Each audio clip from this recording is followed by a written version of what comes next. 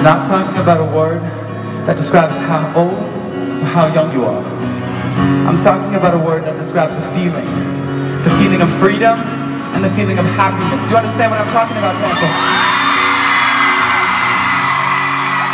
I want to take a moment right now to say that every single person in this room, every single one of you, you are the people that have the power to change the world for the better. Tampa, do you understand what I'm talking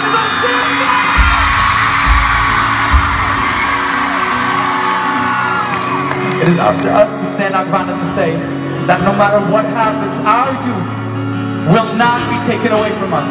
Sing this last chorus as loud as you can. Here we go. And you can't take my youth away, so mine will never break. You can't take my youth away, so mine will never break. As long as I wake up take my youth away.